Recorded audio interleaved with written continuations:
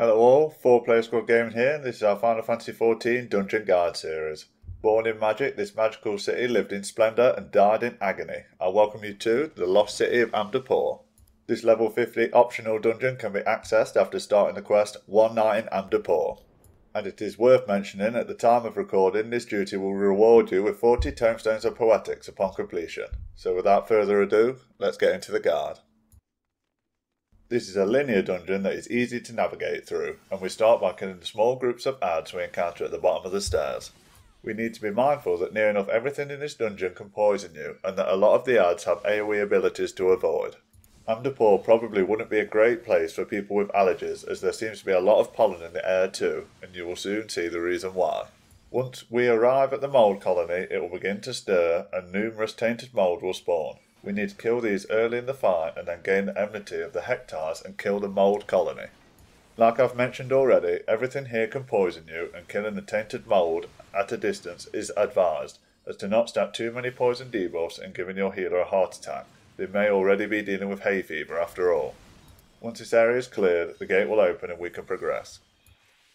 Make your way through the abandoned city killing the small groups of ads you come across. Once you have cleared the two mad marks in front of the closed gate, it will open your way towards the first boss fight area. The treasure chests here can come alive and start attacking you, but let's be honest, that's not the weirdest thing we've seen so far. Our first boss is the Decaying Gourmand, and yes, that is a huge mouth across its stomach. We start this fight as normal with the tank gaining the enmity and walking through the boss to aim it away from the party. The Gourmand will use prey on a random party member and mark them. He will also use Mouldy Phlegm, a circular ground AoE that will cause damage, debuff and taint the area. This should be avoided. After a short while, the boss will use Devour and swallow the targeted player marked with prey, and they will be unable to attack or move. The Voracious Maw will become targetable for the party, and damage will be switched to this immediately. Once destroyed, we free the trapped party member. The Gourmand will also use a large area burst called Spore Cloud, dealing low damage and inflicting poison. The fight then just repeats these mechanics. Make sure to free the trap party member when they are swallowed and pile on the damage to the Gourmand when you can. You will soon finish the boss. Guess he bit off a bit more than he can chew. Pick up your loot and progress. Kill the ads in your way and finish off the next mould colony, remembering to avoid the tainted mould as to not get too many stacks of poison. This will open the gate and allow you to continue.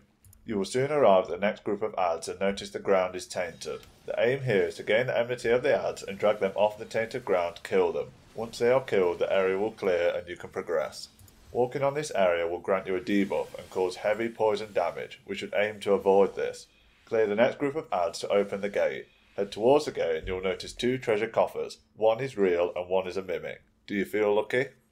Keep progressing and as before, drag the ads off the tainted area ahead and kill them. The next area is covered in tainted ground and the mould colony is the reason for this. Clear this as normal and the area will magically clean itself. Head through the now open gate and into the second boss fight area. Arioch is our second boss. The rank Remora is not the boss, just to make that clear. We need to kill the Remora and ideally for the tank to do the final damage to it before it is killed. The ad will spray the player who killed it with scale flakes. The party member with the highest stack of scale flakes will be the target for the boss and will receive a body slam every time it flies into the air. Scale flakes will also cause the boss to deal more damage to that player, so the higher the stacks, the more damage will be dealt. The party needs to balance how many scale flakes the tank receives and how many Remoras are left, as they will do frontal cone AoEs when left alone, and too many can cause your party issues. Arioch will also use Soundwave, an area-wide burst dealing low damage, and Corrosive Gale, a frontal pillar AoE that will then taint the ground. Avoid all the AoE and keep piling on the damage, ensuring the tank has the most stacks of scale flakes at any given time. Once killed, pick up your loot and progress into the next area. The Arrested Darkness is a harder part of this duty and brings many new ad types. The white mage stones need to be killed in this area to allow us to damage the Balzaphon. The ads here can cause a lot of damage and it is recommended to kill the ads first and then the mage stones. Healers and tanks will be tested if this is not done correctly, enough so to cause a party wide. Progress forward, grab the treasure coffer, and then head down to a secondary ad infested area. There are four mage stones here. It is very important to clear the ads first. Try to use all of your AoE abilities to burst the group down as fast as you can and clear the mage stones after. The tank will take a large amount of damage and the healer will need to be ready for this. Once this area has been cleared, head into the final boss fight area. Enjoy the short cutscene.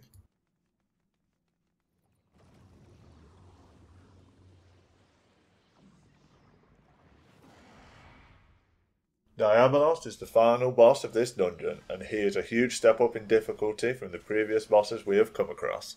Start the fight as normal with the tank gaining enmity and walking through the boss, aiming it away from the party. You will have noticed diabolical gates around the fight area with symbols above each door. Each door will have a matching door and act as a pair. This mechanic is important for later in the fight.